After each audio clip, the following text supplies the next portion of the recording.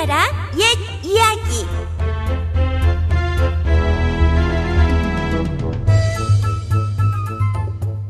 요술부채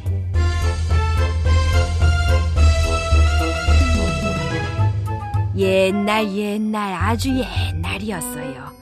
쇠머리꼴에 엉뚱한 생각만 하는 게으름뱅이 나무꾼이 살았답니다. 어느 여름날 산에 나무를 하러 간 나무꾼은 그늘에 앉아 또 엉뚱한 생각에 빠져 있었어요. 아이고, 도깨비 방망이 같은 게 있으면 나무를 하지 않아도 될 텐데. 그때였습니다. 나무꾼은 건너편 소나무 가지에 매달린 부채 두 개를 보았어요. 저게 웬 부채지? 나무꾼은 부채를 펴보았습니다. 하나는 빨간 부채, 하나는 파란 부채였어요. 나무꾼은 빨간 부채로 활활 부채질을 해보았습니다. 아, 그런데 이게 웬일이에요?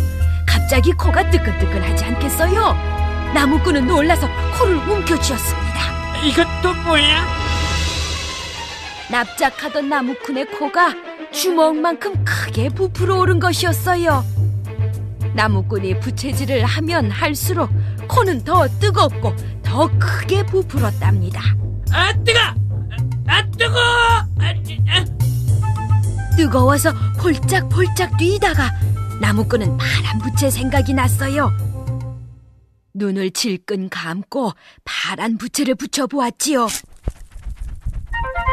그런데 이건 또 어찌 된 일일까요? 화끈거리던 코가 식고 부풀었던 큰 코가 다시 납작해지는 거예요. 나무꾼은 좋아서 덩실덩실 춤을 추었습니다. 이야, 요게 바로 요술부채다, 요술부채야. 요술 방망이 대신 요술부채라니. 이젠 나무를 안 해도 부자가 되겠구나. 얼씨구. 나무꾼은 콧노래를 부르고 어깨춤을 추며 집으로 돌아왔어요. 여보, 빨랑 나와서 이것 좀 보라고. 이것 좀 봐. 나무꾼은 소리쳐 아내를 불렀습니다. 아니 나무도 안 하고 그냥 오면 어떻게 해요? 임자, 놀라지 말라고. 이게 뭔지 알아? 요술부채야, 요술부채. 나무꾼은 아내 앞에서 으스대며 소리쳤어요. 네? 요술부채요? 나무꾼의 아내는 놀라 눈이 왕방울처럼 커졌습니다. 나무꾼은 아내가 보는 앞에서 빨간 부채로 훨훨 부채질을 했어요. 에고 큰일 났네 큰일 났어 아내는 부풀어 오르는 나무꾼의 코를 보며 기겁을 했지요. 나무꾼은 시치미를 뚝 떼고 파란 부채를 살랑살랑 흔들었습니다. 여보 코가 다시 줄어들었어요 아내가 놀라 소리치자 나무꾼이 웃으며 말했어요. 이제 가만히 앉아 있어도 부자가 될 테니 두고 보라고.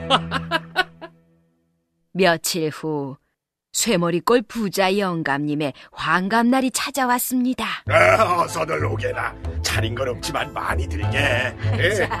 제잔 받으세요 오래오래 사세요 예, 건강하시고요. 부자 영감님은 온 동네 사람들을 불러 잔치를 벌였어요. 사람들은 술 마시고 노래를 부르며 춤을 추었지요. 그때 빨간 부채를 허리춤에 찬 나무꾼이 찾아왔습니다. 아이고, 어르신. 얼마나 기쁘십니까? 오래오래 사시고 복 많이 누리세요. 아, 기쁘다 마다 내 평생에 이런 기쁜 날이 또 오겠는가? 부자 영감님은 술에 취해 비틀거리며 나무꾼을 끌어당겼어요. 나무꾼은 이때다 싶어 영감님의 얼굴에다 살살 부채질을 했지요. 부자 영감님은 그것도 모르고 덩실덩실 춤만 추었답니다. 영리한 그 집 고양이만 빼고는 나무꾼이 한 짓을 아무도 눈치채지 못했어요. 나무꾼은 물러나서 팔짱을 끼고 지켜보다가 희죽희죽 웃으며 슬그머니 집으로 돌아왔습니다. 아니 저게 뭐람? 자네 코가 왜 그렇게 커졌나? 아랫집 영감님이 놀라 소리쳤어요. 함께 춤추던 사람들이 모두 부자 영감님을 쳐다보았지요. 세상에 저게 웬일이야? 어머나 코가 그제서야 부자 영감님은 코를 움켜쥐었습니다. 아 뜨거 아 뜨거 사람 살려요 사람 살려 부자 영감님은 이리 뛰고 저리 뛰며 고함을 쳤어요. 사람들은 옆에 있다가 혹시 코병이 옮을까봐 뿔뿔이 흩어졌습니다. 그날부터 부자 영감님은 이름난 의원을 모조리 불러 온갖 약을 다 써보았어요. 하지만 영감님의 부푼 코는 가라앉을 줄 몰랐답니다. 부자 영감님은 그만 자리에 눕고 말았어요. 생각 끝에 부자 영감님은 여기저기에 방을 써붙였습니다. 누구든 내 콧병을 고쳐주는 사람에게는 재산의 절반을 나누어 주겠다 나무꾼은 그제서야 시치미를 뚝 떼고 파란 부채를 허리춤에 감춘 채 부자 영감님의 집을 찾아갔어요.